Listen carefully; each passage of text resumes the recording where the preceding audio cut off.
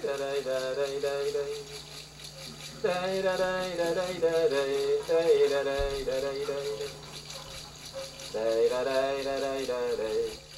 Psychedelic Science in the 21st Century Conference met in San Jose in April 2010. It was sponsored by MAPS, Multidisciplinary Association of Psychedelic Studies. It was the biggest and most significant U.S. convention on the topic of medical psychedelic research in 17 years, drawing presenters from around the world, such as Stan Grof, Ralph Metzner, Charles Grob, and Benny Shanon. For those of us who have benefited from the wise use of psychedelics, it was a kind of homecoming, a chance to connect with friends we have not yet met. This program focuses on the visionary and psychedelic art, which was featured at the conference, and on the artists who shared their vision.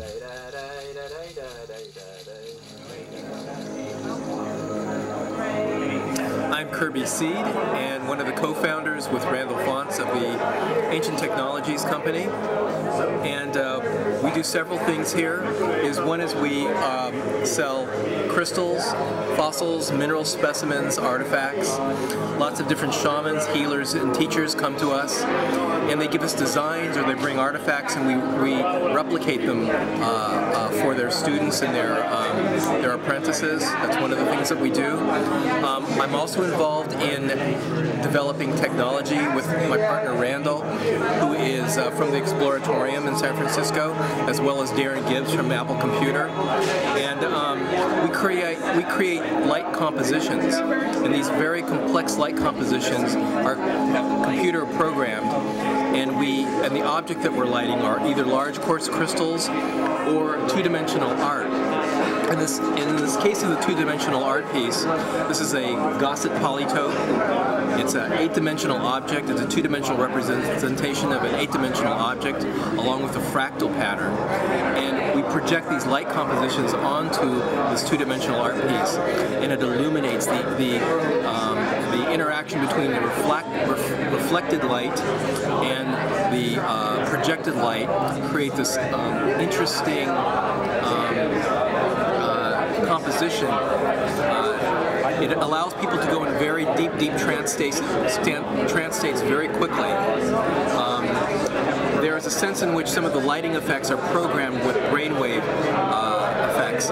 So for example, when you're looking at this, you go into an alpha state or a theta state, and that um, as you're observing the art piece, you're going into an altered state, accessing more of your subconscious and unconscious resources as a way of viewing and interpreting the, the art.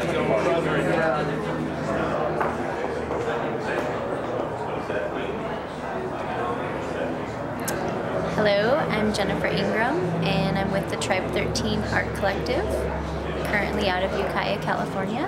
And today we are at the MAPS conference, and I'm here to introduce some of the artwork that we represent. And this artist right here is Luke Brown, and he is a Canadian-based artist, currently living in Bali. And he is a digital master, as long as well as a um, oil painter. And this is Tetramatrix.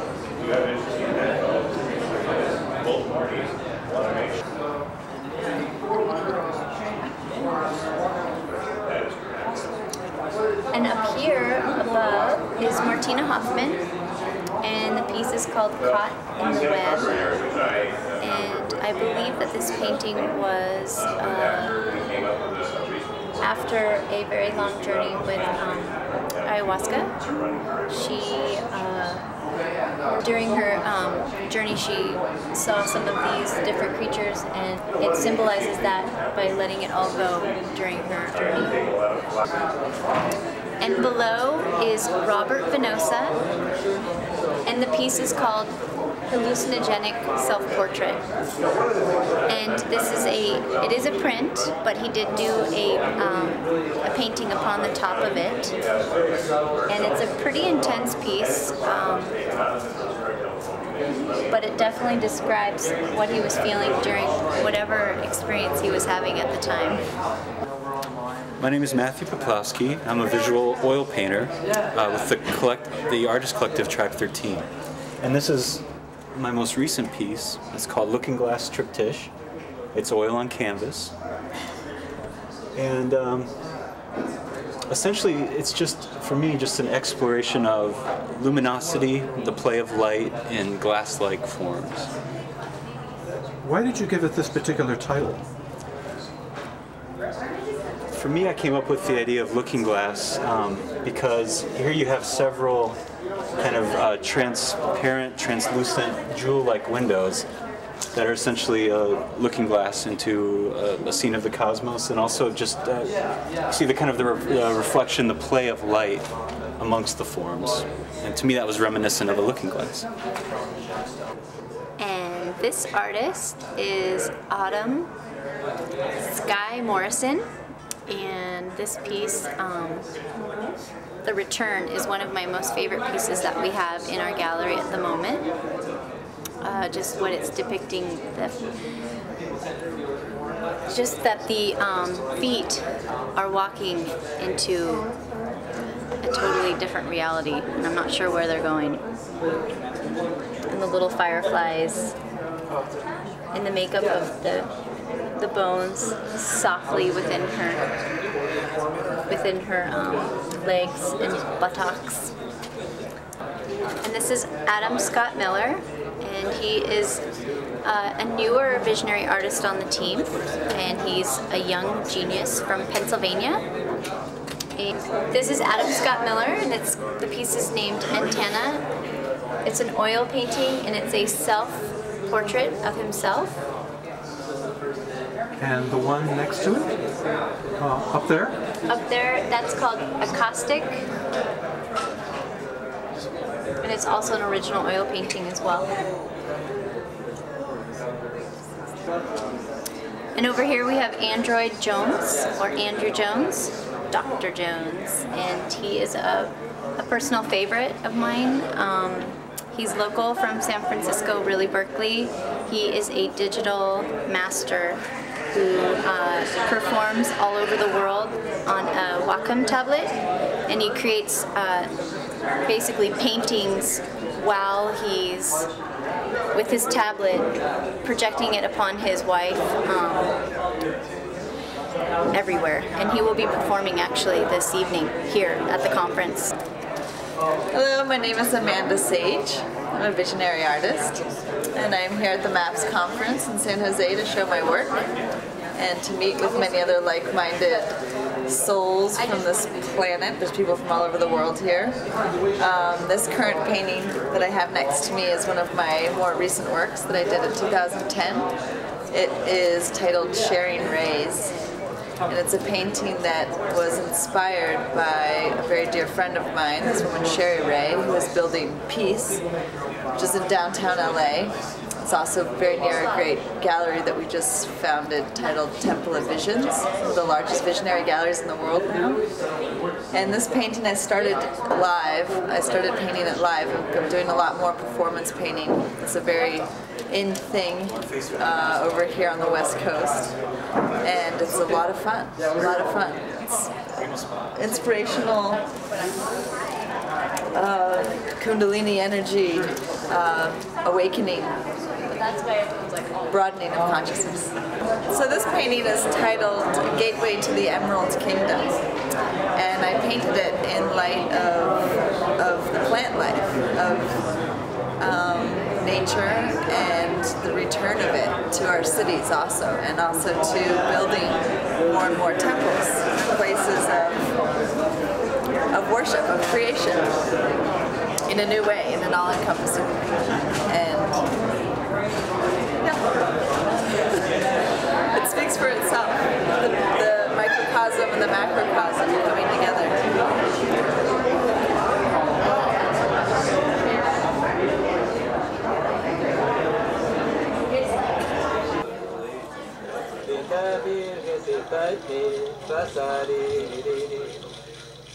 De la laguna y lima, se hallaremos ahí.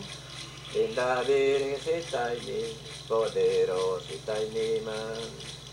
ora ya mo ya mo ni trai na nai na nai nai ni trai na nai na nai nai ni me di se ro na se ra ra ri se na na na ni na na ni si tai ni te la la go nai ni ma Ora ya mo ya mo ni nai na nai na nai nai ni Medicina ronasi dai da dai da dai da dai Para todos tus hijos aquí en la tierra y Gayari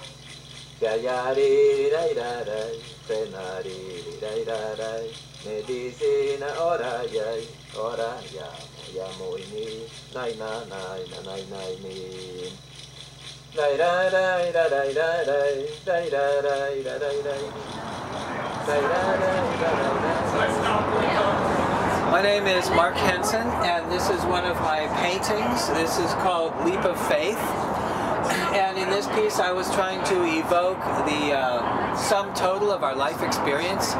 And so here we have uh, life entering into the world, and the things we might experience through our lifetime, and then the uh, soul emanating up into the cosmos again.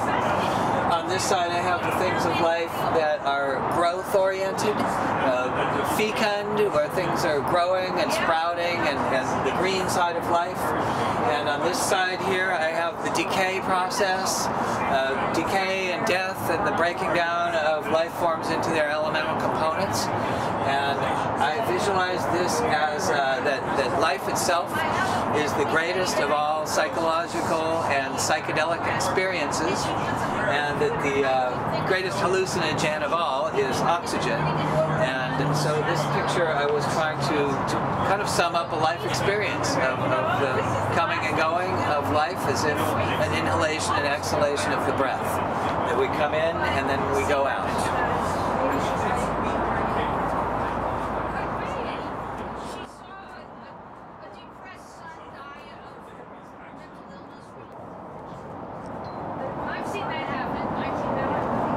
One of my ways of getting my imagery out into the general world and sharing it with everybody is to put my things on clothing.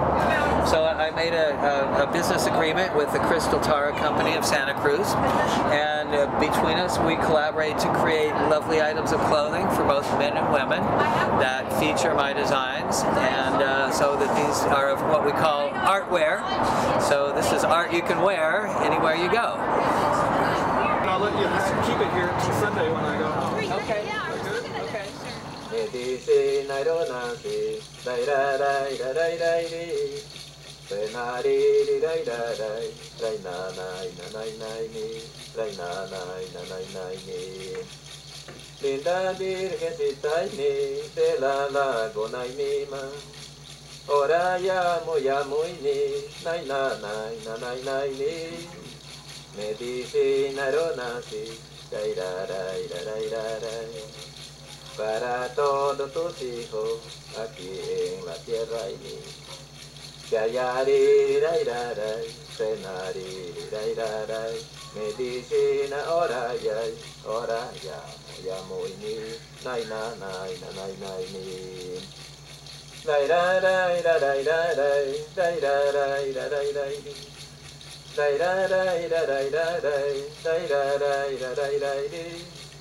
Con tus bendiciones mi ora llamo llamo y mi Dai na nai na nai na nai dai da dai da dai dai di Dai na nai na nai nai mi. Con tu manto y podero poderoso y tai ni man. Ora llamo llamo y mi Dai na nai na nai nai ni Linda Virgen si tai ni de la lago nai ni na Dai da dai da dai da dai dai da dai da dai da dai dai da dai da dai da dai dai da dai da dai dai di dai na nai na nai nai li dai da dai da dai dai dai dai da dai da dai da dai dai da dai da dai da dai dai da dai da dai da dai day da day da day da day nay na nay na nay na nay day da day da day day day hey hey hey hey hey hey hey hey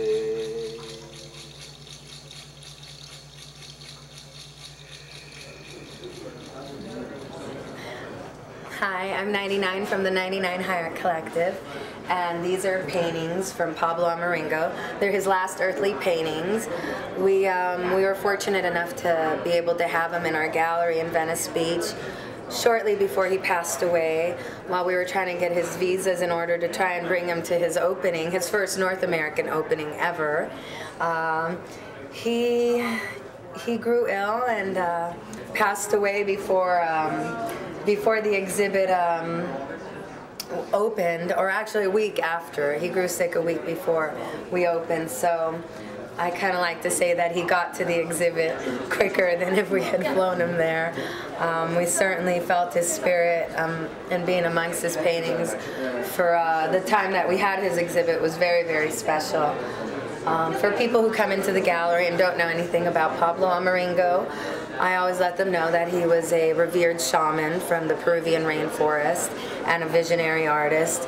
And these paintings were his ayahuasca visions. As a shaman, he was a healer for many, many years before he uh, dedicated himself to visionary art. And these are his visions um, from drinking the ayahuasca brew, and they all represent healing, um, learning how to heal oneself, learning how to heal others, uh, and um, and just the magic that um, that exists within us all and the universe around us. So, um, so these are his paintings. Uh, they were all done in um, in Peru, and what can I tell you about it? I mean, there are a lot of uh, psychedelic scholars that could tell you a lot more than I can. However, I can tell you that just being around them and just seeing how people react to, to his paintings is uh, it's uh, pretty amazing.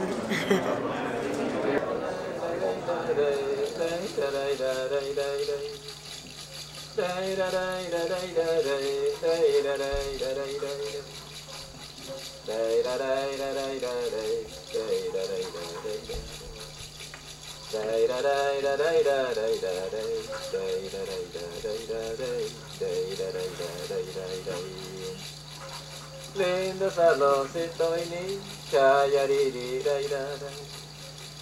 Medicina ironasi ora yamo yamo ni Linda casita y nima ora yamo yamo ni Nai na nai na nai nai Dai da dai da dai dai di Dai da dai da dai dai di Lindo salocito y ni Dai da dai da dai dai dai Pura medicina y mi senari di dai da dai dai da dai da dai da dai da dai dai da dai da dai dai dai dai da dai da dai da dai da dai dai da dai da dai dai dai nai na nai na nai nai nai Linda Virgencita y mi pasari di di di mo de la laguna y lima hallaremos ora y ahí linda virgencita y mi poderosita y mi man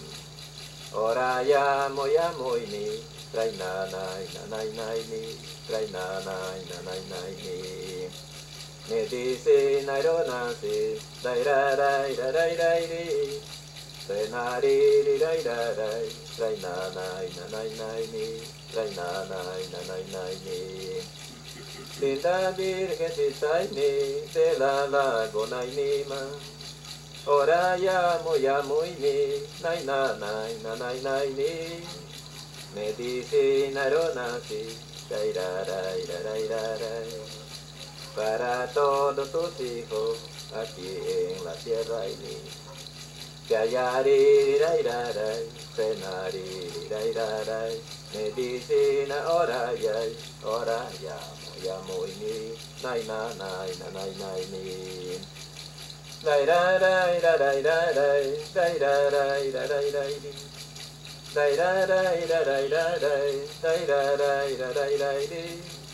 Con tus bendiciones ni, ora yamo yamo ini.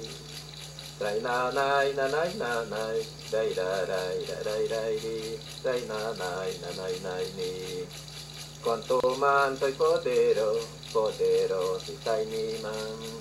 ora ya mo ya mo ni dai na na nai nai ni linda de ke te tai ni de la la go nai ni na dai da dai da dai da dai dai da dai da dai da dai dai da dai da dai da dai quanto man toi podero podero si tai ni man.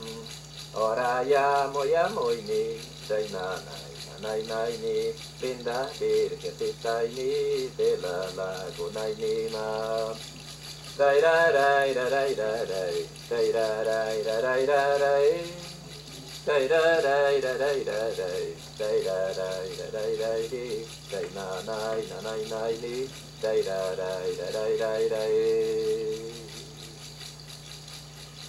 dai da dai da dai da dai dai da dai da dai da dai dai da dai da dai da dai dai da dai da dai da dai nai na nai na nai na nai dai da dai da dai dai hey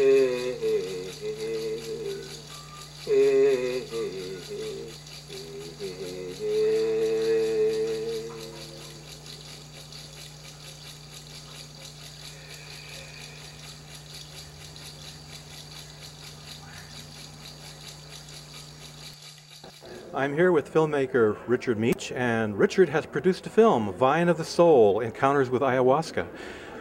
Richard, what motivated you to uh, make this film? I guess you'd have to say that my, my interest in this has, has been one that I, has been a sustained interest of mine for many years, which is the use of sacred plants by human societies throughout time. I've always been interested in the indigenous use of plants in terms of their technology of the sacred, how plants are used for self healing, for mystical experiences, and for spiritual awakening. And I'd often wondered why there was no way that Western people, non indigenous people, could have access to the same technology of the sacred in a way that was beyond pure curiosity or recreational use. And what I noticed in the last several years is that ayahuasca, the sacred technology, the sacred medicine of many peoples in South America, has become newly rediscovered by Western people, people from North America, people from Europe. And they're looking to drink ayahuasca in a traditional context, traditional Amazonian medicine, for their own self healing and their own spiritual awakening. And I thought, as this movement is growing, and as ayahuasca itself leaves the Amazon, this is a very important subject for our contemporary culture to understand why people are searching for ayahuasca, why they're drinking it, and what experiences they have, how it transforms them. So in this film, we follow a number of different people and their encounters with ayahuasca. We film it in Peru and, and back in Canada. So we follow the journeys of people from their hometowns in Canada, where they have not taken ayahuasca, to Peru and back to the modern world. Filming ceremonies, in fact, in Canada as well as Peru. And the film includes uh, the context from different experts Dennis McKenna, who's a world renowned ethnopharmacologist, Gabor Mate, who's a world leader in addiction treatment, who's now using ayahuasca to help people afflicted by serious addictions, and Ken Tupper, a scholar who writes on the globalization of ayahuasca and the issues that that raises for local authorities.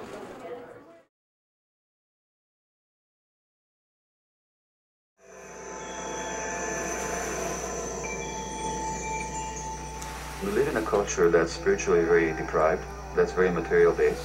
In other words, we live in a culture that does not give human beings what they really need. That leaves a huge hole in people. The notion that there is a spiritual component to healing has been totally excised from biomedicine. Spirituality and healing? What does spirituality have to do with healing? So we're all going to be drinking ayahuasca tonight. Trust yourself. You've heard the call. You felt the call to be here. It's a tea. It's always made from two plants, one of which contains the hallucinogen dimethyltryptamine or DMT. DMT is what I call a true psychedelic. Some people talk about a chemical. It's not a chemical. Ayahuasca is a spirit.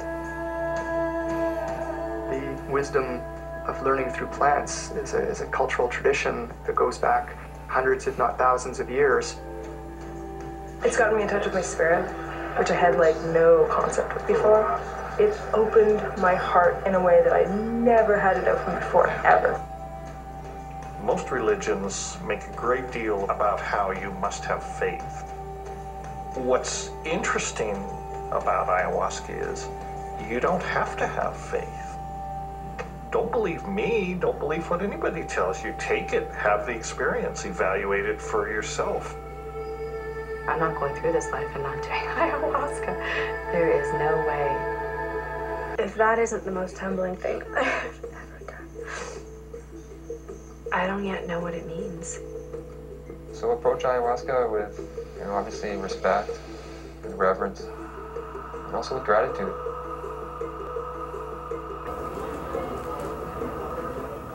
One of the one of the most important things about ayahuasca that I have experienced and that I have found in my conversations with other people is that at the most profound level of the healing that ayahuasca gives you or the spiritual awakening that it provides is that it takes you into it takes you into a, a zone in your in your own experience in your own mind to experience a kind of love that you may never have experienced in your life. So I just wanted to to offer that that insight that um, on the deepest spiritual level that ayahuasca and other substances, other plant sacred sacred plant substances can provide people is an access to some of the most profound parts of one's sacred experiences, which is ultimately an experience of love. And by that, I mean the love that in some ways you might say is not from here. It's the love that permeates the continuum. And people feel uh, an aspect of that in themselves, and they feel a connection to that that they may never have experienced in other ways. So it's important for people to, to understand that at the basis of this sacred technology that ayahuasca is, is a way of reconnecting to yourself, to the planet, to the cosmos, and the energy that underlies all of it.